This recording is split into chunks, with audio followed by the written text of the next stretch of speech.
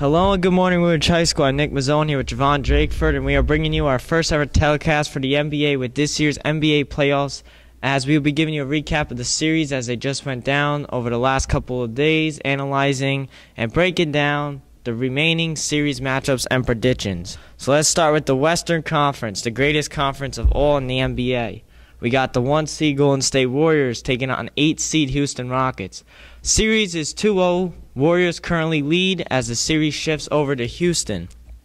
The Rockets' great play in the last two games of the regular season, with Harden's 38 performance and his 41 night performance, preserved the Rockets into capturing the last and final spot in the playoffs. Warriors are what could be called as a dynasty. With all the records they broke this year, like equipping the most wins in a single season at 73 and having the best record in the NBA at 73 and 9, and their individual play from Curry as he broke the most threes in a season at 402. He's a great player, right, Ja'Von? Nobody can stop him. Um, so I believe that with their great play, the Warriors are going to sweep the Rockets. How about you, Ja'Von? Thanks, thanks. I also believe that too. You know, Golden State. You know, they've just been progressing so well as a team, and as Steph Curry keeps making those threes, they're always gonna win. Yeah, they're great. So now we're gonna go to second seed San Antonio Spurs versus seventh seed Memphis Grizzlies. This series is currently 2-0 as the Spurs destroyed the Grizzlies last night. The Spurs are entering these playoffs as the second best team in the NBA with their veteran talent and the old and amazing, always great coach, Gregg the Pop Popovich, who took the Spurs very far in the playoffs, bringing them a lot of NBA championships. While the Grizzlies are entering as the second as the second worst team in the West, and their great big man Zach Randolph and Marcus Gasol leading their team, even with their great talent, their veteran talent, Vince Carter and everybody on there, I don't believe they have what it takes to beat the eternal Spurs. Spurs win in a sweep 4-0. How about your prediction, Ja'Von? Uh, I totally agree with you, Nick. Spurs, they're a very experienced team. I wouldn't say very old, but they're experienced. So you know they have a lot to do with this. You know, and you know the Grizzlies. What can you say about the Grizzlies? No, no one really knows them. They're not good. Spurs got you all the way. Thank you, Ja'Von. And I hope they do because they are a great team. Now we're going to go 3 seed OKC versus 6 seed Dallas Mavericks. So this series tied at 1 as game as game 3 moves over to Dallas. Game 2 was a nail biter for the Mavericks and those fans out there and their point guard Felton who missed the last two ending free throws in the remaining second, giving the Thunder a chance to win. So it goes down like this. Westbrook gets the rebound, he's off to the races, dishes it off to his buddy Kevin Durant. Then he misses a bad layup. So then Westbrook has a chance for the putback. He misses it. Then Adams makes it, but unfortunately he didn't get off at the buzzard. War, uh, Mavericks win. Series tied at one. We in Dallas now. Um, then the Thunder's entering these playoffs as the most aggressive team in the NBA with their two stars, KD and Russell Westbrook, leading the way, who broke the record for most triple doubles in a season at 18, passing Magic Johnson and Michael Jordan, two of the greats to play the game. What a milestone for Westbrook. He hopes to use that momentum through the playoffs and take the Thunder team far. And he just announced the other day that KD has a free agent this year. Who knows? He might be going to the Warriors, making that team great once again. So while Dallas is a team who went on a big win streak to end the season, found themselves as the sixth seed entering, and are on a fire. But even with their very great talent that Dirk possesses, it won't be enough for Dallas to win the series because of their fact how strong and aggressive those Thunder players are. Thunder wins in five, four to one. How about you, Ja'Von? Who do you got? Well, I do feel like the Dallas will give them a run for the money. But in the end, I do feel that OKC will come out with the win. You know, the, Russell and KD are both very clutch. So, you know, I would like to see this happen. I pick Thunders. Thank you, Ja'Von. I have to agree with you with that. I think they're going to take it all the way to the conference final when they're going to lose to the Warriors because nobody's going to beat them. So now we got to go to the four seed LA Clippers versus five seed Portland Trailblazers. So this is going to be a much watched series. Two really good teams led by arguably one of the two best point guards in the league. Let's start with Damian Lillard for the Trailblazers and Chris Paul for the Clippers.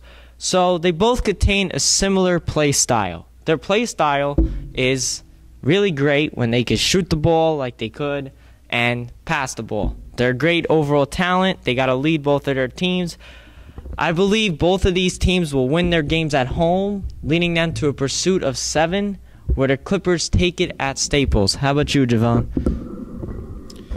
You know, like I said, you know they will give them a run for the money, but you know personally, I am a uh, you know Chris Paul fans as well as Blake Griffin, so I feel like they're a good tandem together. So I feel like you know the Clippers will will take this all the way. Thank you, Ja'Von. Now let's go to the Eastern Conference. So we got one seed Cleveland Cavaliers versus eight seed Detroit Pistons. Wow, this could be a great series with LeBron and Kyrie. The Cavs are entering into these playoffs as the hottest team from the East and look to try to win it all this year. When last year they lost to historic Warriors in the finals, with one of the greatest guards in the game, Kyrie Irving, and the arguably one of the greatest players in the NBA and one of the most aggressive, LeBron James. The chemistry that those two possess is what is going to be likely the Cavs to move far in the playoffs. Now the Pistons on the other end are entering these playoffs as the worst team by record in the East, but could put up a good fight like they did in Game 1. I don't see them putting up a fight even with their great big man Andrew Drummond though, but who knows how that series is going to go down.